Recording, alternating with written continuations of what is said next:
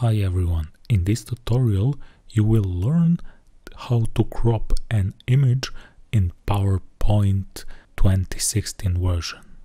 In order to do that, I'm gonna click here on this format tab and I'm gonna click on this crop button. Then I'm gonna select the area of my picture that I want to crop